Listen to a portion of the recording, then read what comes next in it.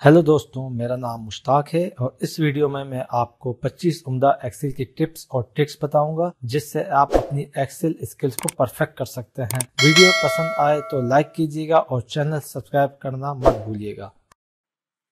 Flash fill flash fill excel का ऐसा function है जो बेस्ड ऑन पैटर्न आपकी बाकी सेल्स में डेटा जो है ऑटोमेटिकली फिल कर देता है। अभी हमारे पास यहाँ एक ईमेल है और ईमेल से हमें जो है एजेंट का नेम चाहिए। टाइप जॉन लेविस एंटर और इसके बाद जो है आपने प्रेस करना है कीबोर्ड से कंट्रोल ई सेकंड रो में आके। तो जैसे ही आप कंट्रोल ई प्रेस करेंगे तो ये ऑटोमेटिकली आ जाएगा। दूसरा तरीका क्या है? हम इन सबको रिमूव कर देते हैं। राइट क्लिक करें, ड्रैग करें, लास्ट रो में आके जब आप राइट मेन्यू को स्टॉप करेंगे तो आपको नज़र आएगा फ्लैश फिल। और इस तरह आप फ्लैश फिल कर सकते हैं। एक और एग्जांपल लेते हैं, मैं आपको एक और एग्जांपल देता हूँ। जैसे फ़र्स्ट कॉलम के अंदर प्रोडक्ट्स हैं और सेकंड कॉलम में यूनिट प्राइस है तो हम अभी यहाँ पे कॉलम इसके अंदर टाइप करते हैं। Product one space 100 enter control E तो जैसे ही मैंने कंट्रोल ई प्रेस किया, आपने देखा कि सारी रोज ऑटोमेटिकली फिल होगी based on the pattern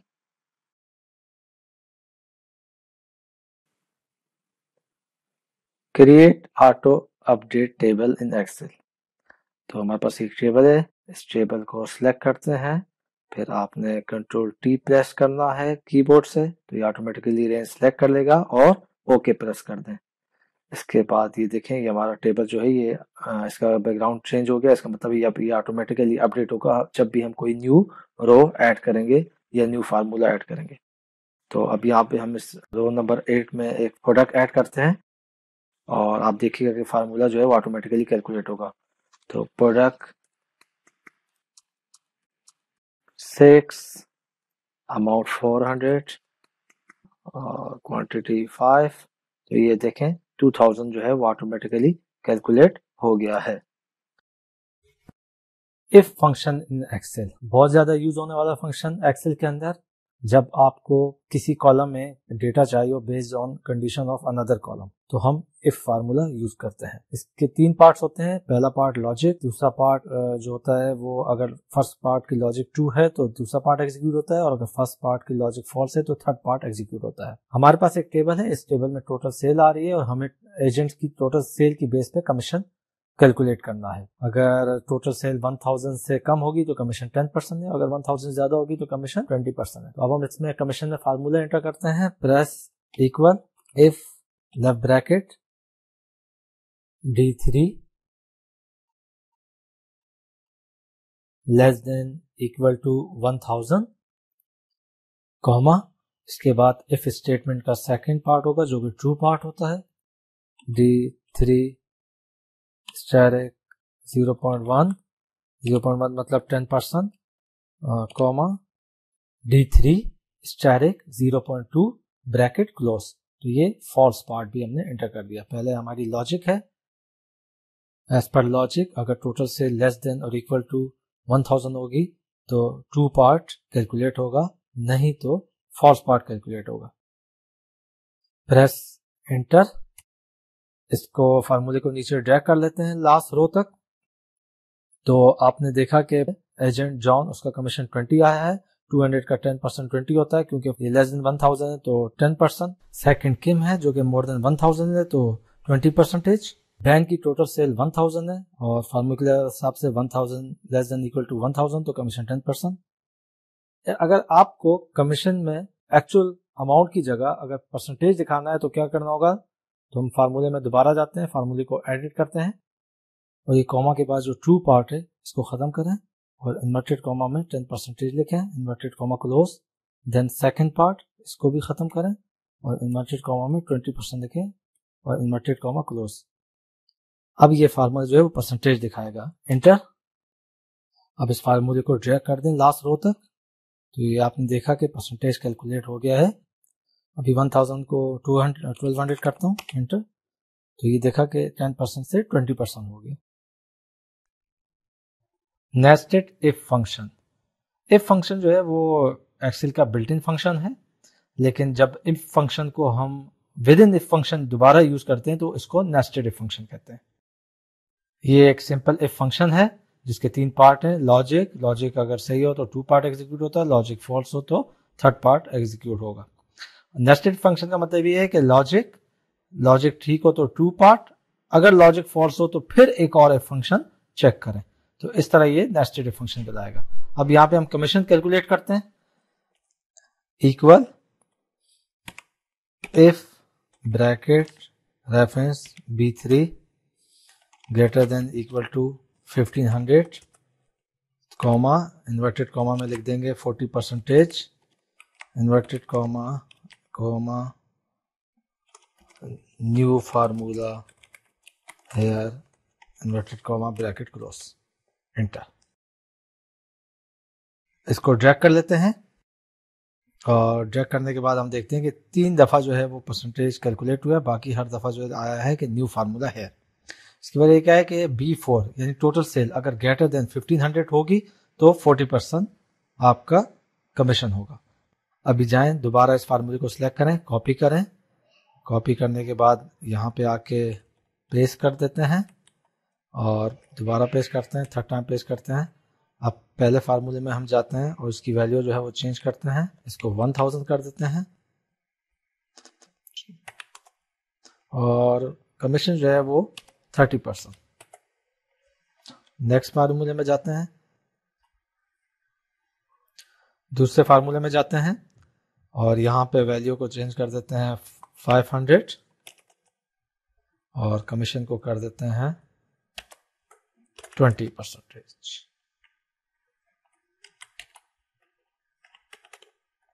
third फार्मूले में जाते हैं।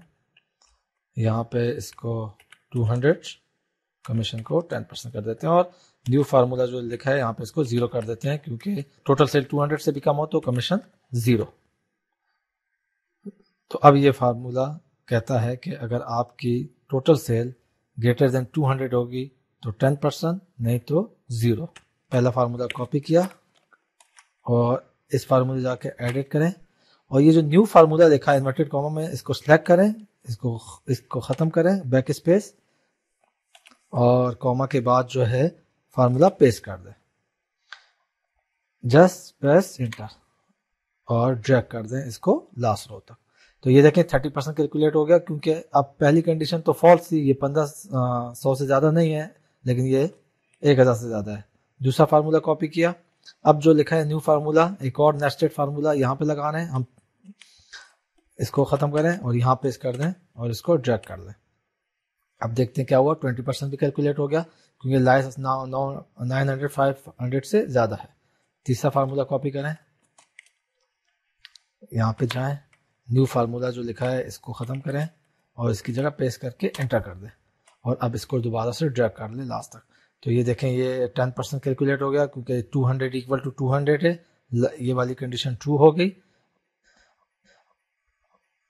पहली कंडीशन जो है वो फॉल्स हुई, दूसरी कंडीशन भी फॉल्स हुई क्योंकि वन थाउज़ेंड ज़्यादा नहीं थी, तीसरी कंडीशन भी फॉल्स हुई क्योंकि फाइव हंड्रेड ज़्यादा नहीं थी। तो चौथी कंडीशन जो है वो ट्रू हो गई तो ये टेन परसेंट आ गया। यहाँ पे क्या है? यहाँ पे ये first condition false second false third false fifth और लास्ट हर कंडीशन फॉल्स हो गई तो आखिर में ज़ीरो आ गया तो इस तरह ये हम नेस्टेटिव फ़ंक्शन यूज़ करते हैं एक्सेल के अंदर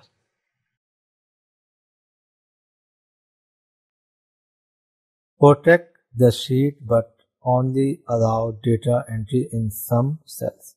बहुत ज़्यादा यूज़ होने वाला फ़ंक्शन है जब हम एक्सेल शीट प्रिपेयर करते हैं किसी और के लिए ताकि वो उसमें डेटा एंटर कर सके, लेकिन सिर्फ़ उन सेल्स में कॉलम में और रो में जिसमें के हम अलाउ करें। तो हमारे पास यहाँ एक टेबल है, और उस टेबल में हम चाहते हैं कि टोटल सेल और कमीशन और ये दोनों जो कि कैलकुलेटेड कॉलम है, इनमें यूज़र डेटा एंट्री ना करे, ताकि फार्मूला डिस्टर्ब ना हो, अगर कोई एग्जिस्ट करता है तो। तो अब हम ऐसा करते हैं कि बैकग्राउंड कलर चेंज कर देते हैं, ताकि ये डिफरेंट लगे तो टोटल सेल को सिलेक्ट किया, इसका जाके बैकग्राउंड कलर चेंज कर दिया। इसके बाद हम कमीशन कॉलम को सिलेक्ट कर लेते हैं और इसका भी कलर चेंज कर लेते हैं। तो अब ये कॉलम जो है वो डिफरेंट लगेंगे बाकी कॉलम से। इसके बाद रिव्यू पे क्लिक करें। रिव्यू के क्लिक करने के बाद आप अलाउ चेंजेस में जाएँ और allow user to edit range पे क्लिक कर दें। यहाँ पे न्यू पे क्लिक करें। न्यू पे क्लिक करने के बाद यहाँ पे सिलेक्ट के बटन पे क्लिक करें और रेंज सिलेक्ट कर लें। तो हम रेंज सिलेक्ट करते हैं पहले ए थ्री से सी टेन तक और उसके बाद ई थ्री से एफ़ टेन तक ये हमने रेंज सेलेक्ट कर ली, ये हमारी रेंज सेलेक्ट हो गई और अब हम वापस जाते हैं और इसको चेक करते हैं। लेकिन यहाँ पे पहले से हमारी कोई सेल एग्जिस्ट कर रही थी तो उसका पाथ आ गया तो इसको दोबारा सेलेक्ट कर लेते हैं, इसको ख़त्म कर दें और दोबारा से सेलेक्ट कर लें। ए थ्री से सी टेन तक और ई e थ्री से एफ़ टेन तक। तो अब ये वो रेंजेस हैं जिसमें कि यूज़र डेटा एंट्री कर सकता है, यानी products unit sale quantity entry date agent name वगैरह यूज़र एंटर कर सकता है। तो ये रेंज हमने सेलेक्ट कर दी। ओके प्रेस करें अप्लाई करें और फिर ओके कर दें। तो अब हमारी रेंजेस सेलेक्ट हो चुकी हैं। इसके बाद जो है हमें शीट को प्रोटेक्ट करना होगा पासवर्ड से। तो प्रोटेक्ट पे क्लिक करें प्रोटेक्ट शीट और यहाँ पे आप पासवर्ड दे दें, कोई भी पासवर्ड यहाँ पे बाकी जो चेक लगे हुए हैं, उनको डिफ़ॉल्ट में रहने दें। सिलेक्ट लॉक सेल्स और select unlock cells one password okay password दोबारा एंटर करें ओके तो ये हमारा पासवर्ड एंटर हो गया। अब मैं जहाँ पे भी क्लिक करूँगा लॉक लोकेशन पे तो सिस्टम मुझे एरर मैसेज देगा। देखें लेकिन ये जो सेल्स हैं, जो हमने अलाउ की थी, ये मैं डेटा ख़त्म भी कर सकता हूँ और यहाँ पे मैं डेटा एंटर भी कर सकता हूँ। तो अभी एक एंटर करते हैं प्रोडक्ट प्रोडक्ट वन ज़ीरो इसके बाद यूनिट प्राइस टेन इसके बाद क्वांटिटी ट्वेंटी और टोटल सेल ऑटोमेटिकली कैलकुलेट हो गई है एंट्री डेट डाल देते हैं zero six twenty twenty agent name John तो कमीशन कैलकुलेट नहीं हुआ यूनिट प्राइस को चेंज कर देते हैं वन हंड्रेड तो ये आपने देखा है कमीशन जो है वो कैलकुलेट हो गया है। और आप कहीं और पे शीट पे क्लिक करेंगे तो उस सिस्टम आपको अलाउ नहीं करेगा डेटा एंट्री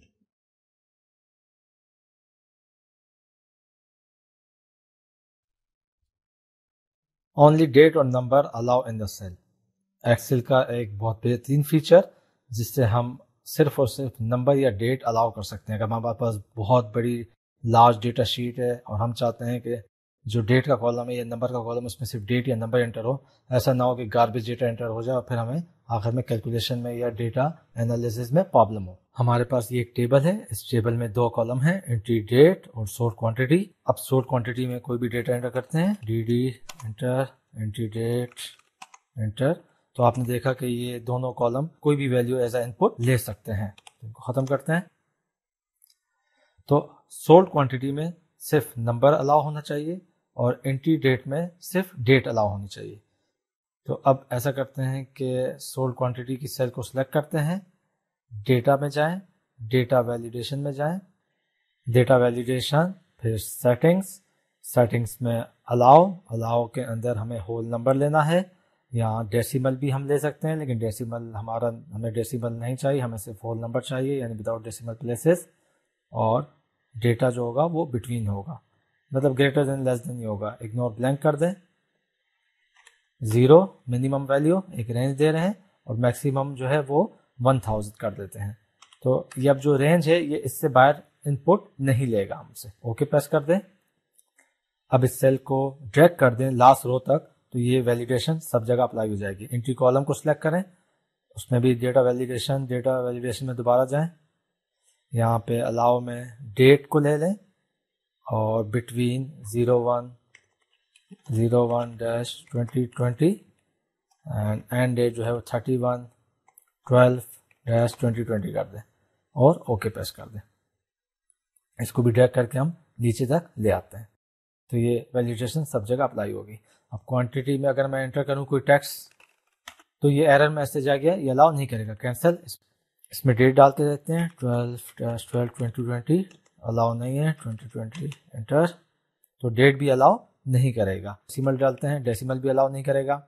और इसके अलावा अगर इसमें हम more than one thousand value डालें तो वो भी अलाउ नहीं करेगा। One zero one one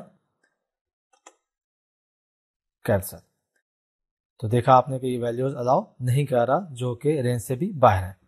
तो सोल्ड क्वांटिटी में आप सिर्फ़ नंबर इंटर कर सकते हैं। ठीक है, अब एंट्री डेट पे आते हैं। एंट्री डेट में भी अगर कोई टेक्स्ट डालेंगे तो अलाउ नहीं करेगा। Test cancel thirty three, number भी अलाउ नहीं करेगा cancel zero two zero two dash twenty twenty तो देखें डेट इसमें अलाउ हो गई। Zero one dash zero one dash twenty nineteen तो लास्ट ईयर की डेट अलाउ नहीं है और ना नेक्स्ट ईयर की अलाउ होगी, क्योंकि ये रेंज से बाहर है।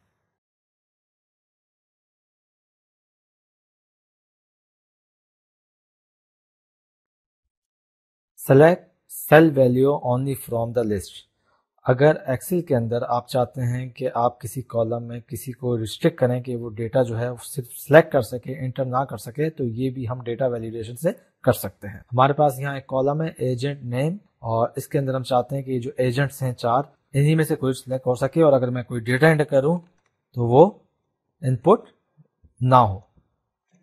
तो ये कैसे होगा? इसमें सेल को सिलेक्ट करें डेटा में जाएँ डेटा वैलिडेशन में जाएँ डेटा वैलिडेशन में सेटिंग सेटिंग में अलाउ और अलाउ में लिस्ट को क्लिक कर दें। इग्नोर ब्लैंक को, के चेक को ख़त्म कर दें और यहाँ पे सिलेक्शन में सोर्स देनी है हमें तो सिलेक्ट के बटन को क्लिक किया और सोर्स को सिलेक्ट कर लें। इन चारों एजेंट्स को सिलेक्ट कर लेते हैं और ओके प्रेस कर दें।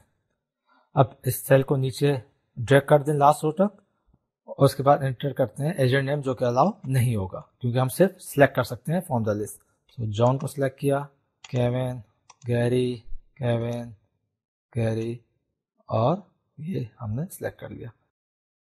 अगर आप चाहते हैं कि लिस्ट यूज़र को नज़र ना आए तो इसको सिलेक्ट करें कट और लास्ट में जाके यहाँ पे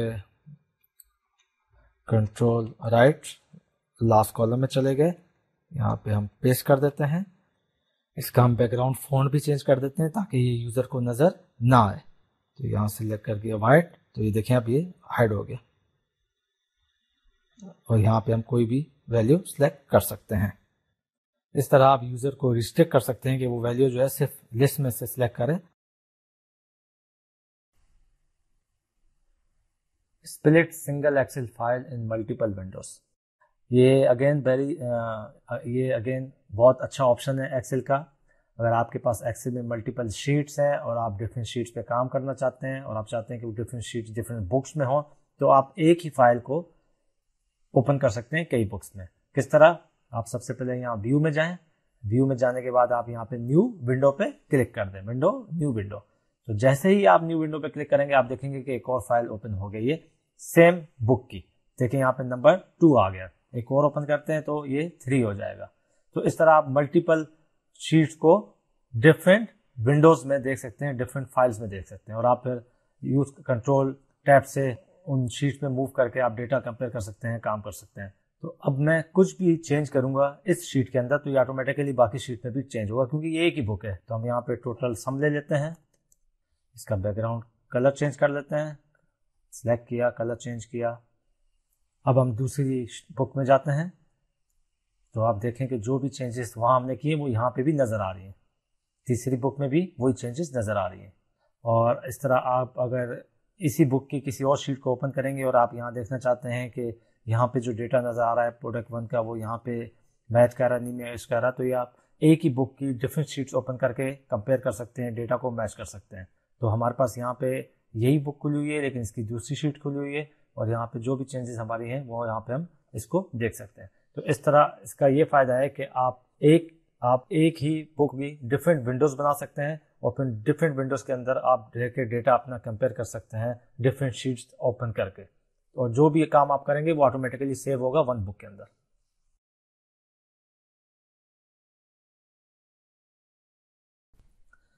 Sorting days and months excel के अंदर अगर हमें मंथ्स या डेट सॉर्ट करने हो तो ये हम कैसे करेंगे? हमारे पास यहाँ पे मंथ्स आ रहे हैं डेटा में जाते हैं और इसको अल्फ़ाबेटिकली सॉर्ट करते हैं। तो ये आप देखें कि अप्रैल पहले आ गया अगस्त बाद में आ गया। यहाँ पे डेज़ को करते हैं सॉर्ट तो ये देखें फ्राइडे पहले आ गया मंडे बाद में आ गया। इनको सॉर्ट कैसे करेंगे?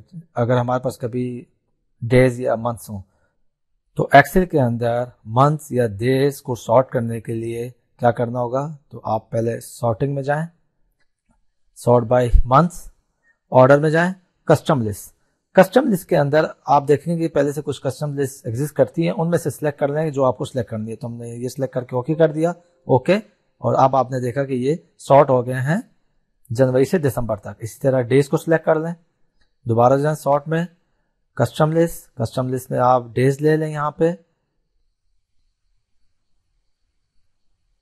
ओके ओके तो ये देखें डेज़ भी शॉर्ट हो गए Sunday Monday Tuesday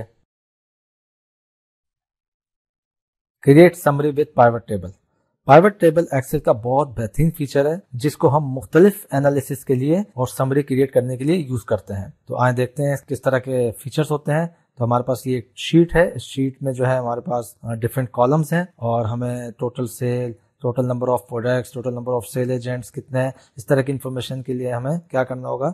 pivot table add करना होगा। तो सबसे पहले इंसर्ट में जाएँ पाइवट पे क्लिक करें, उसके बाद ये आपके पास रेंज ऑटोमेटिकली सिलेक्ट हो जाती है और आप न्यू शीट पे रखें तो क्योंकि हमें न्यू शीट में डेटा ऐड करना है समरी ऐड करनी है, और अगर आप चाहते हैं कि आप खुद ही पाते हैं तो आप एग्जिस्टिंग पे क्लिक करें और फिर आप यहाँ पे सिलेक्शन के बटन पे क्लिक करें।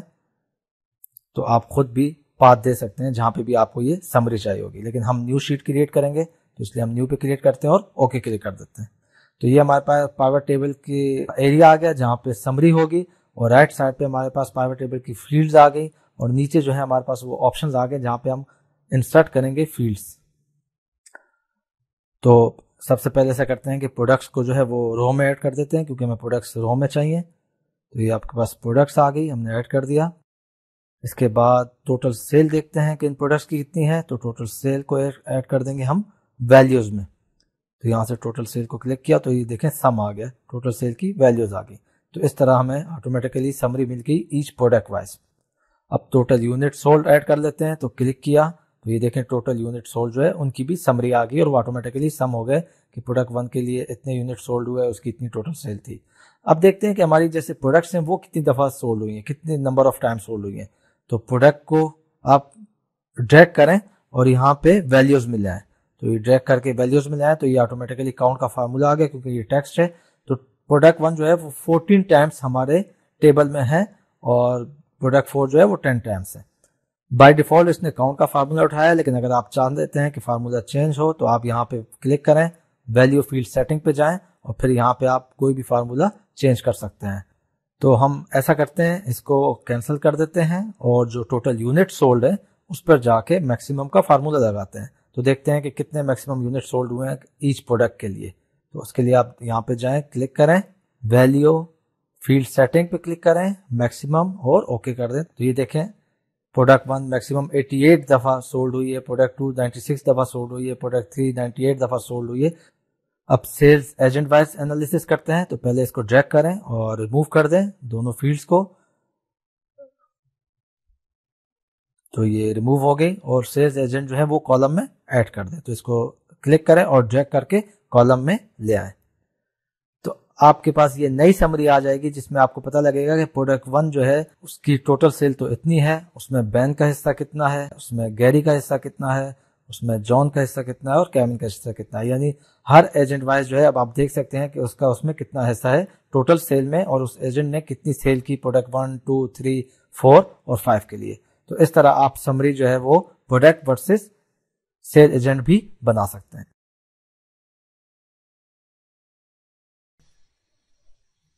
एजिंग और रेंज एनालिसिस हमारे पास यहाँ एक टेबल है जिसमें टोटल यूनिट सोल्ड आ रहे हैं। हमें इसकी रेंज निकालनी है कि कितने यूनिट्स कितनी दफ़ा सेल हुए रेंज वाइज तो सबसे पहले आपको क्या करना है? इसके लिए पाइवट टेबल बनाना है। तो इंसर्ट में जाएँ पाइवट टेबल पे क्लिक करें और यहाँ पे इसको ओके कर दें डिफ़ॉल्ट वैल्यूज़ के साथ। तो ये आपके पास कॉलम्स आ गए राइट साइड पे।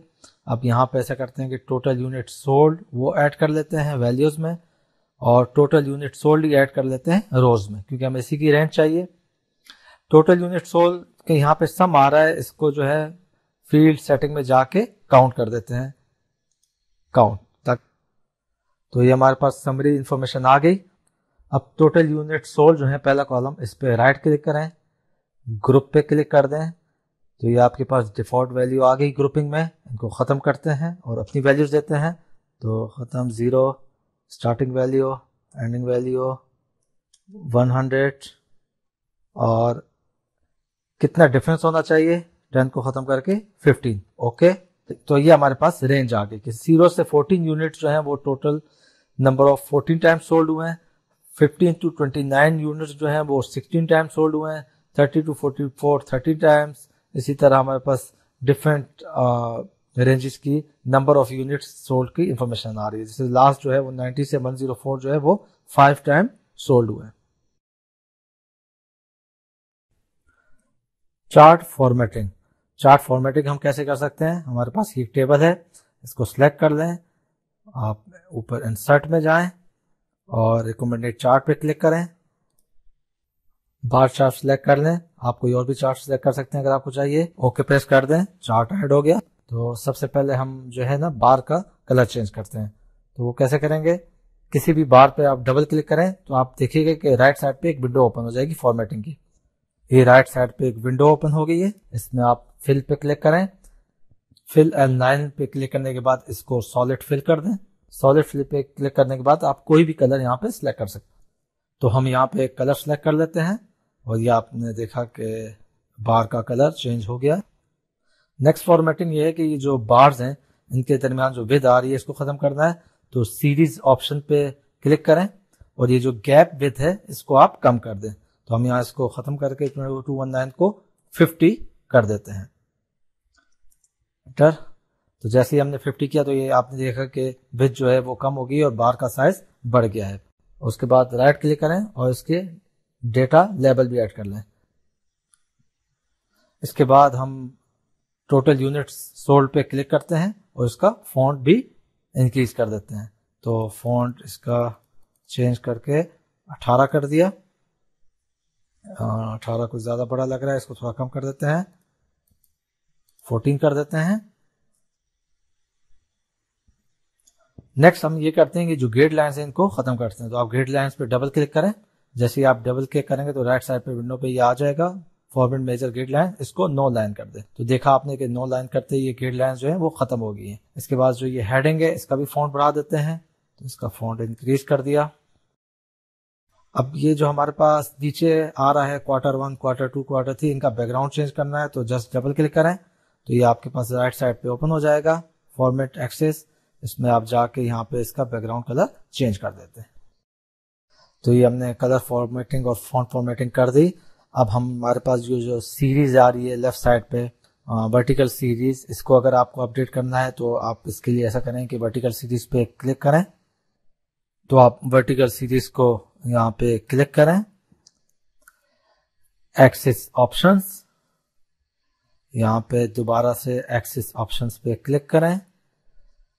यहाँ पे आप मिनिमम और मैक्सिमम वैल्यू वर्टिकल एक्सिस की सेट कर सकते हैं। तो हम यहाँ 900 को ख़त्म करते हैं और 1000 सेट कर देते हैं।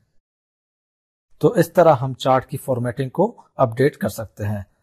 बार्स की, सीरीज़ की, प्लॉट की, जो भी चाहें। एक और तरीका क्या है कि आप किसी भी चार्ट पे डबल क्लिक करें तो यहाँ आपके पास automatically built in design open हो जाएँगे। इनमें से आप कोई भी डिज़ाइन सिलेक्ट कर सकते हैं, और तो चार्ट ऑटोमेटिकली उसकी formatting according to that design set हो जाएगी। तो हम ऐसा करते हैं कि यहाँ पे एक डिज़ाइन सिलेक्ट कर लेते हैं इसको। ये हमने चार्ट का डिज़ाइन सेलेक्ट कर लिया। इसके अलावा अगर आप में इसका लेआउट चेंज करना है तो यहाँ पे कोई लेआउट में जाएँ और हम चाहते हैं कि जो भी क्वार्टर की वैल्यू है, वो भी उसके नीचे आए तो इस में से एक लेआउट ये सिलेक्ट कर लेते हैं। तो आपने देखा कि यहाँ पे जो क्वार्टर्स की वैल्यू है, अब वो भी नीचे आ रही है।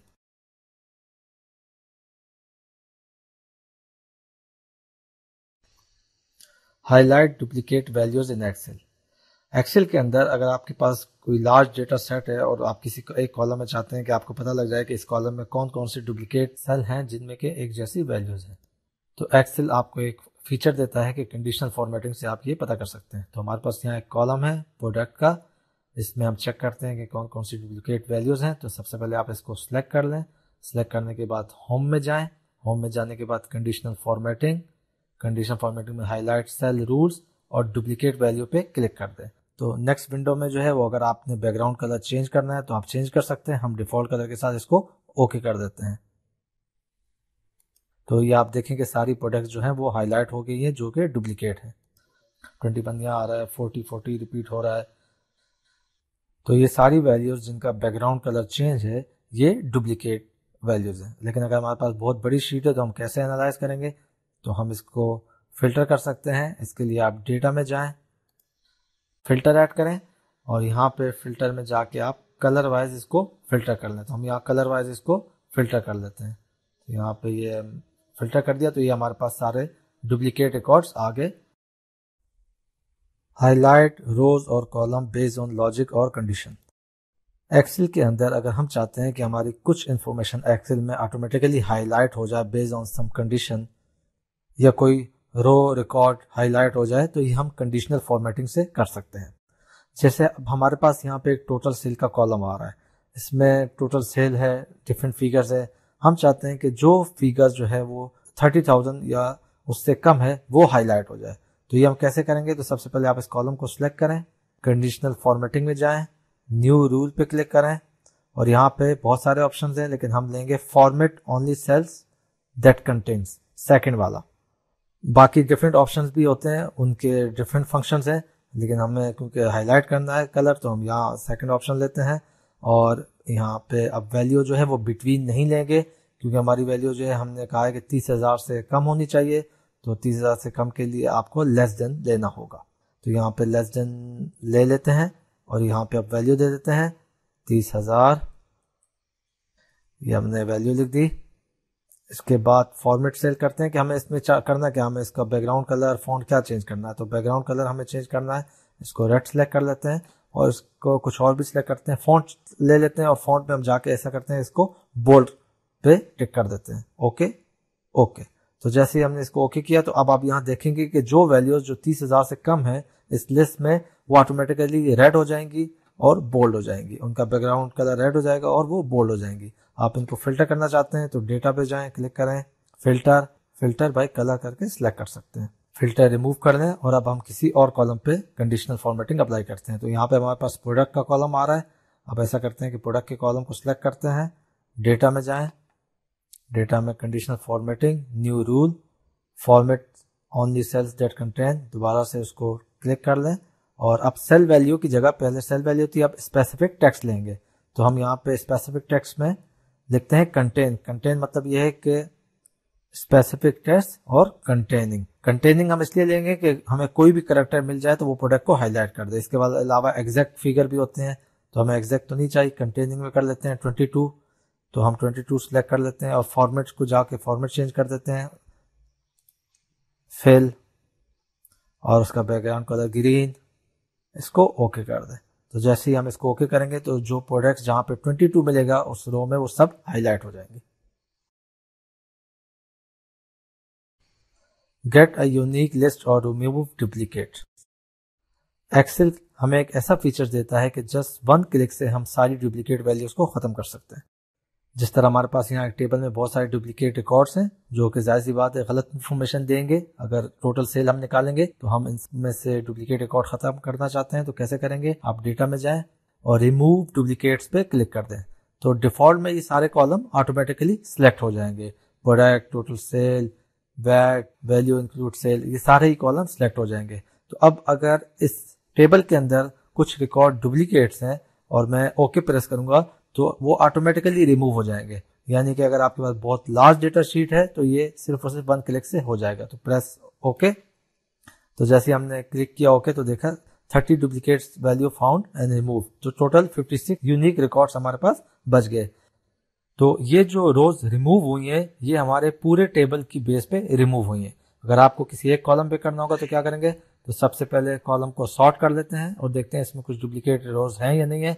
जी हाँ बिल्कुल हैं। प्रोडक्ट वन है product two product twenty one तो इसमें कुछ डुप्लीकेट रो हैं।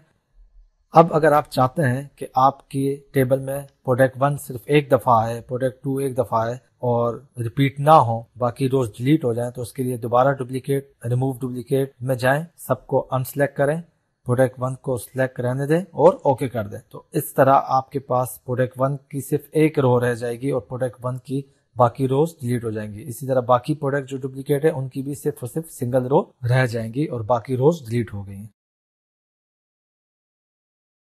create named ranges from data Excel का एक और बेहतरीन फीचर जिसमें कि आपके पास अगर कोई बहुत ह्यूज डेटा वाली शीट है और आप उसमें कुछ कॉलम्स को कोई नाम देना चाहते हैं इंस्टेड ऑफ़ आप फार्मूला में सिलेक्ट करें बार बार तो आपको पता है कि इस कॉलम का ये नाम है तो आप उसको उस नाम से भी फार्मूले में यूज़ कर सकते हैं। तो हमारे पास यहाँ एक टेबल है, जिसमें क्वार्टरली सेल आ रही है।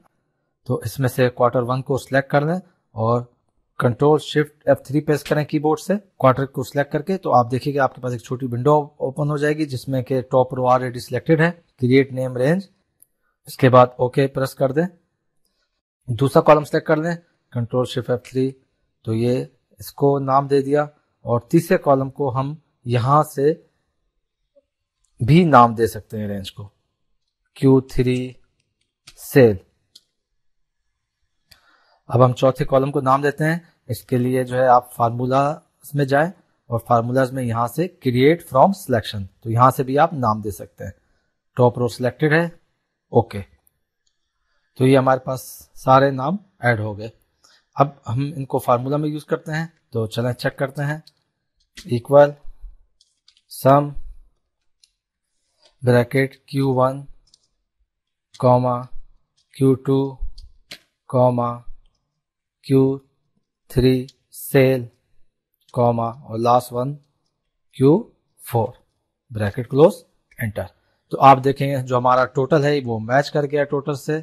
One one nine seven one one nine seven तो इस तरह हम इसको टोटल कर सकते हैं। इसके अलावा इसमें अंडर स्कोर इसलिए आ रहा है कि एक्सेल के बाय डिफ़ॉल्ट कॉलम्स भी ए बी सी क्यू उसमें आता है तो इसलिए एक्सेल ने उसमें अंडर स्कोर ऐड कर दिया। अगर आपको ये रेंजेस जो डिफ़ॉल्ट नाम है ये डिलीट करने हो तो उसके लिए आपको क्या करना होगा? नेम मैनेजर में जाएँ और नेम मैनेजर में जाके यहाँ पे आप इसको डिलीट कर सकते हैं, अगर आपने डिलीट करना है। नेम रेंज सेलेक्ट करें और उसको डिलीट प्रेस कर दें। Okay, close. तो ये फार्मूले में एरर आ गया क्योंकि हमने एक रेंज डिलीट कर दी fix the value with dollar sign in a formula. Excel के अंदर अगर आप चाहते हैं कि आप जब रोज को या कॉलम्स को ड्रैग करें तो फार्मूला जो है वो चेंज ना हो। यानी रो या कॉलम का रेफरेंस चेंज ना हो। तो वो हम किस तरह कर सकते हैं? हमारे पास यहाँ टेबल है। उस टेबल में हमारे पास टोटल सेल आ रही है जो कि यूएसडी करेंसी में है। और अगर हमें किसी दूसरी करेंसी में सेल देखनी है तो हम यहाँ पे पहले एक फार्मूला ऐड करते हैं। एक्सचेंज रेट जो है हमारे पास यहाँ पर है। तो प्रेस करें। इक्वल टोटल सेल को सिलेक्ट किया माउस से। रेफरेंस दिया D three into exchange rate अब इसको आप ड्रैग कर लें। तो जैसे ही आप इसको ड्रैग करेंगे तो आप देखेंगे कि पहले सेल में तो फार्मूला ठीक है, लेकिन दूसरे में ज़ीरो आ रहा है। तो ये गड़बड़ कहाँ हुई है? एफ़ टू प्रेस किया। तो दूसरे में एक्चुअली रेफरेंस जो है वो चेंज हो गया। के टू के थ्री के फोर के फाइव ये आगे को चला गया। क्योंकि जैसे ही हमने इसको ड्रैग किया तो एक्सेल ऑटोमेटिकली जो है वो रो रेफरेंस को नेक्स्ट नंबर असाइन कर देता है। तो रो रेफरेंस को अगर फिक्स करना है तो आप सबसे पहले फार्मूले को एडिट करें F2 और इसके बाद जिस रेफरेंस को भी आपको फिक्स करना है, उससे पहले डॉलर का साइन लगा दें, या कीबोर्ड से F4 प्रेस करें तो ऑटोमेटिकली डॉलर साइन ऐड हो जाएँगे इंटर और इसको ड्रैग कर लें। तो ये देखिए, हमारी कैलकुलेशन अब बिल्कुल ठीक हो गई है। अब किसी भी सेल में आप F2 एडिट करके देखें तो आपका रेफरेंस जो है वो फिक्स रहा है के वन तो इस तरह हम रेफरेंस को फिक्स कर सकते हैं। यहाँ पे एक इंपॉर्टेंट पार्ट ये है कि हमारा कॉलम तो चेंज हो ही नहीं रहा, वो तो के ही रहता है। सिर्फ़ रो चेंज होती है। तो हम डॉलर साइन को के से पहले खत्म कर सकते हैं। तो इसको खत्म करके अगर आप ड्रैग करेंगे तो भी आपका फार्मूला फिक्स रहेगा। क्योंकि कॉलम में ड्रैग करते हैं टॉप टू बॉटम तो कॉलम चेंज नहीं होता, सिर्फ़ रो चेंज होती है। तो रो से पहले डॉलर साइन लगाएँगे। अब हम दूसरे टेबल में जाते हैं, जहाँ हम दोबारा से एक्सचेंज रेट अप्लाई करके फार्मूला कैलकुलेट करेंगे कि टोटल सेल एडी में कितनी है। तो यहाँ पे आप प्रेस करें इक्वल रेफरेंस दे रहे हैं टोटल सेल का बी सिक्सटीन मल्टीप्लाई डॉलर के वन एंटर तो ये देखें हमारे पास टोटल सेल एडी में आ गई। यहाँ पे हमने डॉलर की साइन जो है वो के से पहले दी है। क्यों? क्योंकि अब हम फार्मूला जो है वो रो वाइज ड्रैग करेंगे। जब रो वाइज ड्रैग करेंगे तो कॉलम चेंज होता है रो चेंज नहीं होती। तो इसका मतलब है कि के जो है वो कॉलम के नाम है तो के जो है वो चेंज होगा तो उसको हमने फिक्स कर दिया, जबकि वन जो है वो हमारा चेंज नहीं होगा रो हमारी वन ही रहेगी। तो इसलिए वन से पहले हमने डॉलर साइन नहीं दिया। तो अब अगर हम इसको ड्रैग करेंगे फार्मूले को तो आप देखिएगा कि वन जो है वो सही रहेगा इवन वहाँ पे डॉलर साइन नहीं है, और के के रेफरेंस को हमने फिक्स कर दिया। तो इसको ड्रैग कर लेते हैं। तो ये आप देखें कि के जो है वो के वन ही है हर जगह पे, क्योंकि के के रेफरेंस को हमने फिक्स कर दिया। Evaluate a formula step by step हमारे पास यहाँ पे एक सिंपल फार्मूला लगा है, जिसमें ए की वैल्यू वन है बी की वैल्यू टू है तो रिज़ल्ट जो है वो यस आ रहा है। ये रिज़ल्ट यस कैसे आ रहा है? आए इसको इवेल्युएट करते हैं। तो इसके लिए आप फार्मूला में जाएँ। फार्मूला में जाने के बाद इवेल्युएट फार्मूला पे क्लिक करें। तो यहाँ पे आपके पास ये फार्मूला आ गया और अब आप इसको चेक करें। तो सबसे पहले इवेल्युएट किया तो ए सेवनटीन में क्या है? वन है। सही है। फिर इवेल्युएट किया तो बी सेवनटीन में उसके रेफरेंस वैल्यू जो है टू रिटर्न कर रहा है। A one less than two है तो क्या रिज़ल्ट आएगा? True one less than two है तो ट्रू रिज़ल्ट आया और उसके बाद इवेल्युएट किया तो यस आ गया। यस क्यों आया? इफ़ फार्मूले में अगर कंडीशन ट्रू हो तो सेकंड पार्ट एग्जीक्यूट होता है और कंडीशन फॉल्स हो तो थर्ड पार्ट हमारा रिज़ल्ट क्योंकि ट्रू आया तो सेकंड पार्ट में यस लिखा था तो यस आ गया। तो इसको हम क्लोज कर देते हैं। अब हमारे पास एक और बिग फार्मूला है तो इसको इवेल्युएट करते हैं। ये हमारे पास इस गैंड चार्ट में लगा हुआ है। कंडीशनल फॉर्मेटिंग में मैं आपको दिखाता हूँ। यहाँ पे मैनेज रूल में जाएँ। एडिट रूल तो ये देखें, ये फार्मूला यहाँ लगा हुआ है, जो कि बैकग्राउंड कलर चेंज कर रहा है इन सेल का। तो वो किस तरह चेंज कर रहा है इन सेल का बैकग्राउंड कलर आए, सबसे पहले ये फार्मूला जो है इन सेल्स पे अप्लाई करते हैं। फॉर्मेटिंग की जगह यहाँ सामने अप्लाई करते हैं और उसका रिज़ल्ट देखते हैं क्या आता है। तो यहाँ पे एंटर कर दें, इसको ड्रैग कर लें लास्ट कॉलम तक, उसके बाद इसको ड्रैग कर लें लास्ट रो तक। इन रोज को थोड़ा सा एडजस्ट करते हैं हाईलाइट किया क्लिक किया तो ये देखें, यहाँ पे ट्रू आ रहा है तो कलर रिटर्न हो गया। यहाँ पे बाकी जगह पे फॉल्स आ रहा है तो वहाँ पे कलर वाइट ही रहा। तो अब ये फार्मूला कैसे काम कर रहा है, आए इसको इवेल्युएट करते हैं। फार्मूला में जाएँ इवेल्युएट फार्मूला में जाएँ। अब हमें इसे इवेल्युएट करते हैं। तो यहाँ पे कॉलम्स का फ़ंक्शन है, जो कि नंबर ऑफ़ कॉलम रिटर्न करता है रेंज के। तो यहाँ पे वन आ गया क्योंकि फाइव फाइव था। वन माइनस वन ज़ीरो हो गया। नेक्स्ट है बी फाइव बी फाइव में हमारे पास डेट है तो डेट का सीरियल नंबर रिटर्न होगा। और सेकंड भी बी फाइव है तो उसका भी सीरियल नंबर रिटर्न होगा। तो ये दोनों माइनस हुए तो इनका रिज़ल्ट भी ज़ीरो होगा। तो ज़ीरो इज़ ग्रेटर देन और equal to zero yes true condition है equal zero equal to zero true return हो गया। फिर कॉलम है, ये कॉलम भी वही रिटर्न करेगा वन माइनस वन तो क्योंकि सेम है ज़ीरो और नेक्स्ट क्या है? इसका भी देखते हैं सी फाइव नेक्स्ट में दोनों डेट चेंज है तो उनका डिफरेंस जो है वो फोर आया zero less than four true है, दोनों कंडीशन एन फ़ंक्शन में ट्रू हो तो रिज़ल्ट आखिर में ट्रू आ जाता है। तो इसको क्लोज कर दें।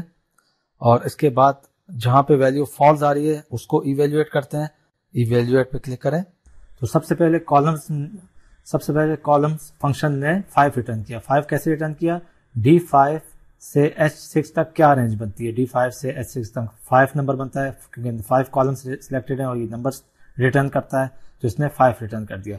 फाइव रिटर्न कर दिया फाइव को हमने क्या किया? Five minus one five minus one four होता है four greater than equal to क्या है? B six minus B five तो बी सिक्स की डेट जो है वो बी फाइव से माइनस हो जाएगी। सिस्टम इसका सी एल नंबर रिटर्न करेगा और सी एल नंबर रिटर्न करके सिस्टम इसको कैलकुलेट करेगा। तो सिस्टम ने पहले सी एल नंबर रिटर्न किया तो ये देखें फाइव आ गया, क्योंकि छः में से एक गया तो पाँच दिन बचे। तो फोर ग्रेटर देन फाइव है, ये कंडीशन तो फॉल्स है फोर ग्रेटर देन फाइव है ही नहीं। जब एंड फ़ंक्शन में एक कंडीशन फॉल्स हो जाए तो सारा फार्मूला फॉल्स होता है। अभी हम इसको चेक करने का कोई फ़ायदा ही नहीं है। तो ये फॉल्स है तो बाकी फार्मूला भी फॉल्स होगा। आप चाहते हैं तो इवेल्युएट कर दें, वरना नेक्स्ट नेक्स्ट करके इसको फिनिश कर दें। तो रिज़ल्ट फॉल्स आ जाएगा। तो इस तरह यहाँ पे रिज़ल्ट फॉल्स आ गया और यहाँ पे बैकग्राउंड कलर चेंज नहीं हुआ। वर्क विथ इम्पोर्टेड डेटा कभी कभी हमें एक्सेल की फ़ाइल की जगह डेटा जो है वो नोट पैड में मिलता है। तो नोट पैड के डेटा को हम किस तरह एक्सेल की फ़ाइल में कन्वर्ट कर सकते हैं या इंपोर्ट कर सकते हैं वो भी हम देखेंगे। तो हमारे पास नोट पैड में कुछ डेटा मौजूद है, उस डेटा को यहाँ पे एक्सेल की फ़ाइल में कॉलम्स में कन्वर्ट करते हैं। तो ये हमारे पास डेटा है नोट पैड में, इसको ऐसा करते हैं कि सिलेक्ट कर लेते हैं कंट्रोल ए कंट्रोल सी और यहाँ आके पेस्ट कर दें। तो ये हमारे पास पेस्ट हो गया। अभी डेटा एक ही कॉलम में पेस्ट हो गया। अब हम इसको कन्वर्ट करेंगे डिफरेंट कॉलम्स में। तो सबसे पहले डेटा पे क्लिक करें, फिर टेक्स्ट टू कॉलम और यहाँ पे पहला ऑप्शन रहने दें। क्योंकि हमारा डेटा फिक्स नहीं है तो हम पहले ऑप्शन को रहने देंगे और नेक्स्ट कर देंगे। अब हमें बताना है कि हमारा डेटा जो है वो कॉलम में किस तरह कन्वर्ट होगा? यानी एक कॉलम को दूसरे कॉलम से किस स्पेशल कैरेक्टर से अलग किया हुआ है? वो टैप भी हो सकता है सेमी कॉलन भी हो सकता है, कोई अदर कैरेक्टर भी हो सकता है, हमारे केस में वो कॉमा है। अगर कॉमा सेमी कॉलन और टैब ना हो तो फिर कोई अदर कैरेक्टर हो तो आप यहाँ पे लिख सकते हैं। तो हम कॉमा करके नेक्स्ट कर देंगे। अब आपको यहाँ पे ये बताना है कॉलम्स की फ़ील्ड टाइप कौन सी होगी। यानी हमारा कॉलम जो है उसकी टाइप नंबर है टेक्स्ट है डेट है या कुछ और है। तो जैसे हमारे पास तीन कॉलम है, उसमें तो उस, उनकी टाइप टेक्स्ट है और एक कॉलम जो है उसकी टाइप नंबर है।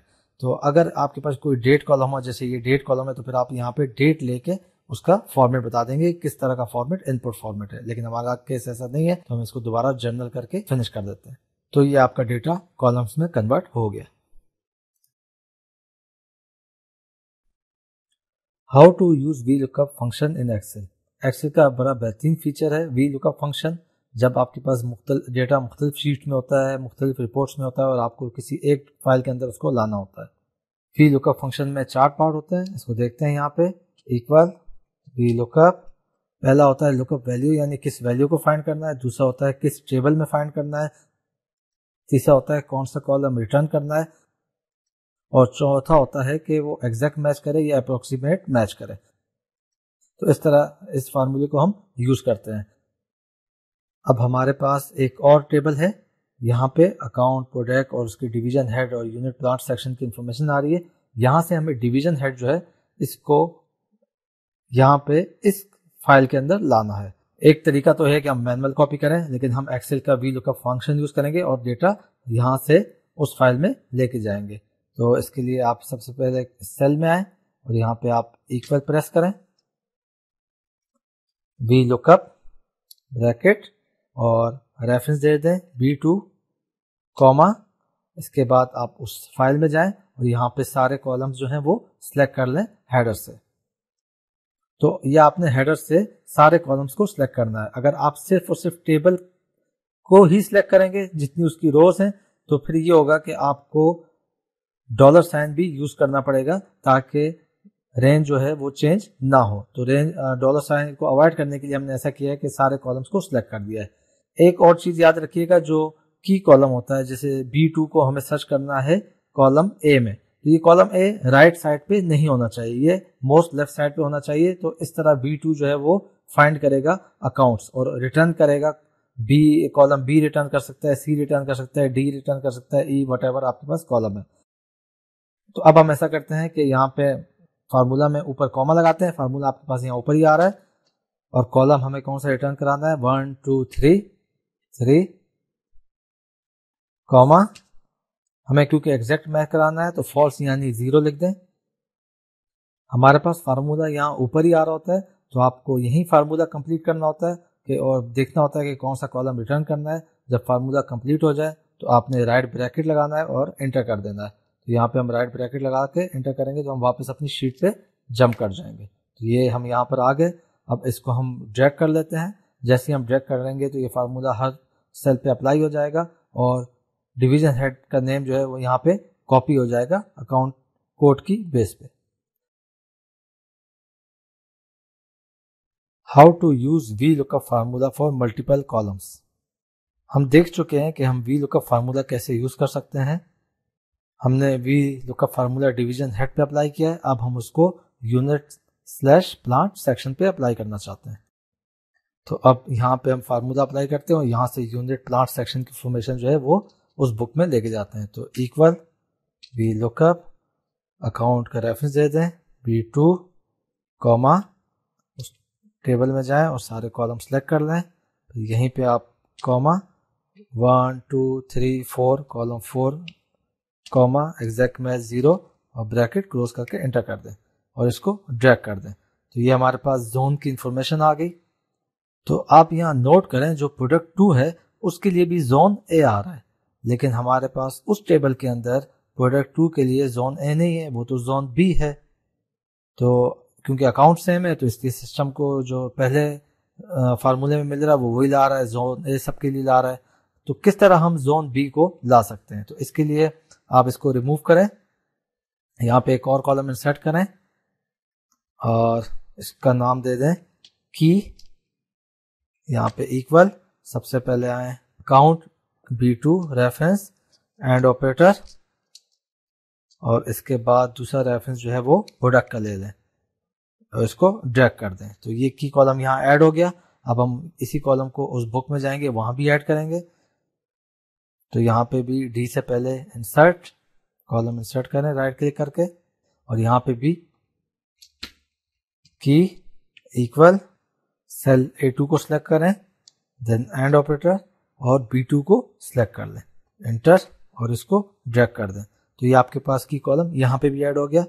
अब यहाँ पे हम लगाते हैं formula equal V lookup reference दे दें इस कॉलम का कॉमा उस शीट में जाएँ और इन दो कॉलम्स को सिलेक्ट कर लें। बाकी कॉलम्स को सिलेक्ट करने की ज़रूरत नहीं है, क्योंकि अभी हमारा की कॉलम जो है वो है तो लेफ़्ट साइड पे तो हम सिर्फ़ इन दो कॉलम्स को सिलेक्ट करते हैं। और यहाँ पे ऊपर जो फार्मूला आ रहा है, इसमें कॉमा और अब हम टू लिखेंगे क्योंकि वन और टू तो टू क्योंकि हमारा कॉलम टू है तो टू और फिर comma zero bracket close enter कर दें और इसको आप ड्रैग कर दें। तो अब आप देखें तो अब आप देखें प्रोडक्ट टू के लिए जो है वो जोन बी आ गया है। तो अब क्योंकि हमारा डेटा सही हो गया तो अब ऐसा करते हैं कि इस कॉलम को वैल्यूज़ में कन्वर्ट करते हैं। प्रॉब्लम ना हो तो राइट क्लिक किया कॉपी किया, फिर राइट क्लिक करके इसको वैल्यूज़ में कन्वर्ट कर दिया। वैल्यूज़ में हमने इसलिए कन्वर्ट किया है कि क्योंकि अब हम की कॉलम जो है, जो हमने टेम्पररी बनाया था, उसको डिलीट कर देंगे तो ये वैल्यूज़ जो है वो डिस्टर्ब नहीं होगी। और अभी हमारे पास दूसरी फ़ाइल में जो की कॉलम है, उस पर भी राइट क्लिक करके आप उसको डिलीट कर सकते हैं। Create simple query in Excel अगर आप एक्सेल के अंदर डायरेक्टली डेटाबेस से कुछ डेटा लाना चाहते हैं और एक्सेल के अंदर उसको एनालाइज करना चाहते हैं तो ये भी आप कर सकते हैं। हमारे पास यहाँ पे ओरेकल या कोई और डेटाबेस माइक्रोसॉफ्ट एसक्यूएल सर्वर नहीं है तो हम सिंपल ओडीबीसी से कनेक्ट करके एक्सेस से डेटा लाएँगे जस्ट फॉर को शो करने के लिए कैसे आप क्यूरी एक्सेल में लिख सकते हैं। तो उसके लिए आपको सबसे पहले डेटा में जाना होगा। आप एक सेल सेलेक्ट कर लें और ऊपर से डेटा में जाएँ। यहाँ पे क्लिक करें, उसके बाद डेटा में जाने के बाद आप फ्रॉम अदर सोर्सेज यहाँ पे क्लिक करें फ्रॉम अदर सोर्सेज और सबसे लास्ट ऑप्शन आप सिलेक्ट कर लें from Microsoft query other option जो है वो हम हम यूज़ नहीं कर सकते। तो माइक्रोसॉफ्ट क्यूरी के अंदर ओडीबीसी का ऑप्शन आ रहा है तो हम यहाँ पे क्लिक करेंगे, और हमारे पास ये ओडीबीसी में एक डेटा ऐड है डेटा इस पर क्लिक कर देंगे यहाँ पे पहले से दो टेबल और एक क्यूरी आ रही है तो आप पहले टेबल को सिलेक्ट करके ये राइट पे साइड पे मूव कर दें। और नेक्स्ट कर दें। इसके बाद आप इसमें से कोई वेयर क्लॉज लगाना चाहते हैं तो आप यहाँ पे लगा सकते हैं। यहाँ पे आपके पास ऑप्शन होता है कि आप यहाँ पे भी वेयर क्लॉज लगा सकते हैं, नहीं तो आप डायरेक्ट जाके क्यूरी में भी लगा सकते हैं। तो हम यहाँ पे डेट पे वेयर क्लॉज लगाते हैं कि हमारी जो डेट है वो लेस देन होनी चाहिए। तो यहाँ पे कोई भी डेट ले लेते हैं जस्ट फॉर टेस्टिंग पर्पज ये वाली एक डेट हमने ले ली, वरना आप इंटर भी कर सकते हैं और इसको नेक्स्ट कर दें।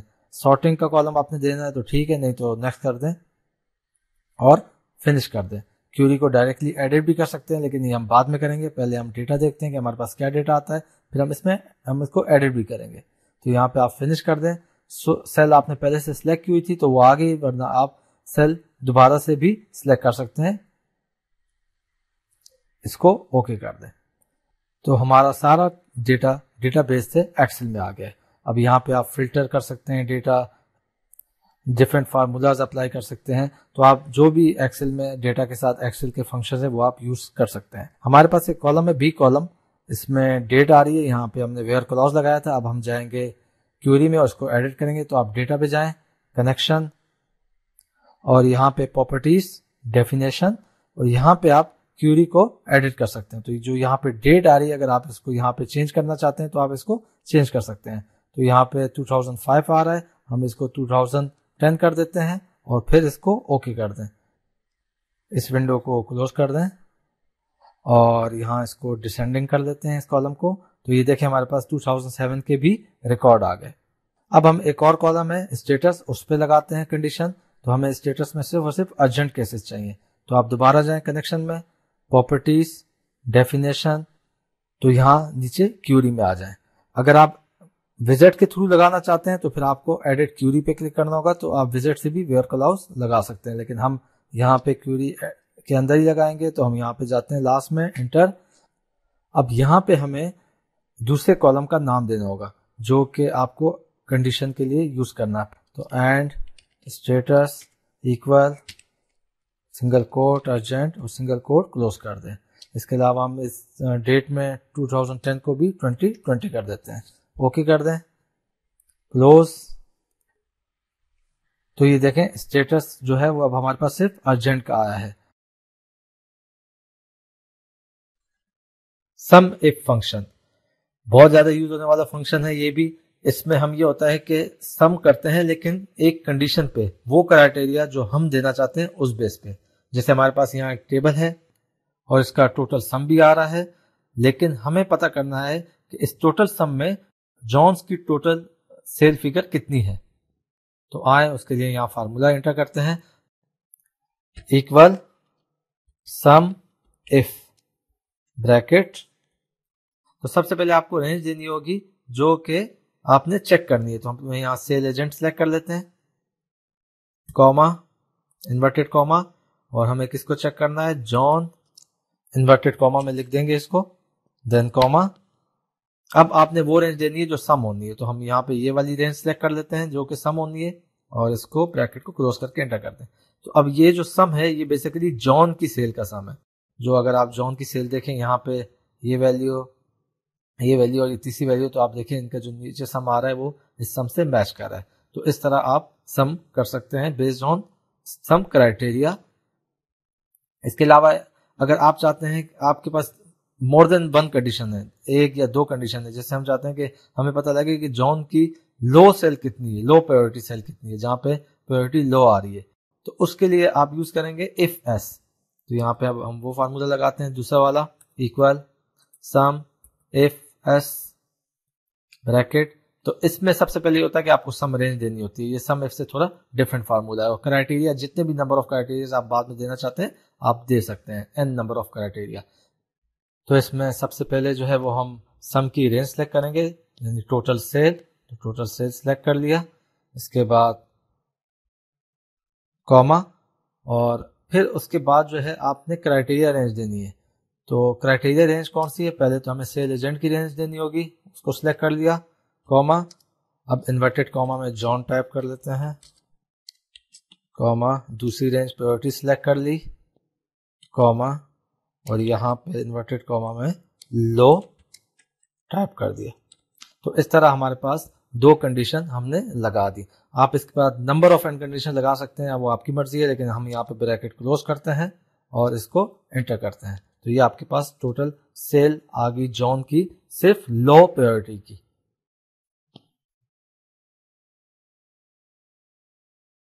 Reduce the file size in Excel Excel के अंदर कभी कभी आपकी फ़ाइल साइज़ का शायद बहुत ज़्यादा बढ़ जाता है और इतने ज़्यादा एमबीज में हो जाता है कि आप ईमेल में भी अटैच नहीं कर सकते। तो अगर आपके पास कोई एक्सेल में फ़ाइल है और उसका साइज़ बहुत ज़्यादा बढ़ गया है और आप चाहते हैं कि उसका साइज़ कम हो जाए बगैर किसी सॉफ्टवेयर के यूज़ किए हुए तो ये भी एक्सेल में पॉसिबल है। मेरे पास अभी एक फ़ाइल है जिसमें बहुत ज़्यादा रिकॉर्ड्स हैं और इस फ़ाइल का साइज़ जो है वो बहुत बढ़ गया है, जो कि तकरीबन इकतीस एम हो गया है और हम चाहते हैं कि अब इसको हम रिड्यूस कर दें। तो इसके लिए हमें क्या करना होगा?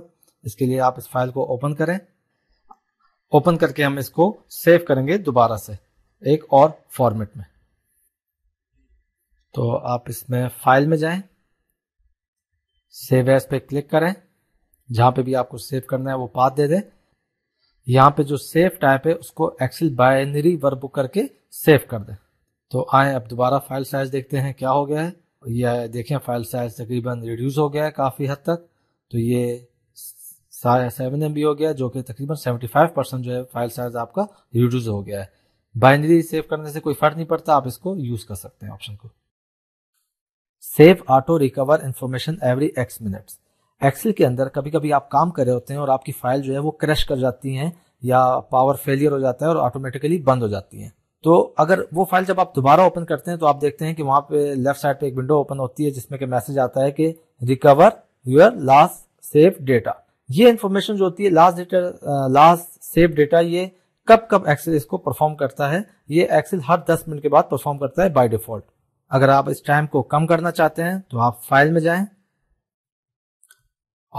ऑप्शंस सेव और यहाँ save auto recover information every 10 minutes तो बाय डिफ़ॉल्ट ये टेन मिनट होता है। इसको आप कोई भी टाइम सेट कर सकते हैं। इसको आप eight minute five minute three minute और वन मिनट भी सेट कर सकते हैं। वन मिनट जो है वो बहुत ज़्यादा शॉर्ट हो जाएगा, उसके लिए एक्सेल को बार बार प्रोसेसिंग करनी पड़ेगी और डेटा सेव करना पड़ेगा तो इससे अच्छा हम तीन मिनट करते हैं और तीन मिनट करके इसको ओके कर देते हैं। तो अब ये है कि हमारा ज़्यादा से ज़्यादा जो लॉस होगा वो सिर्फ़ और सिर्फ़ थ्री मिनट्स का होगा।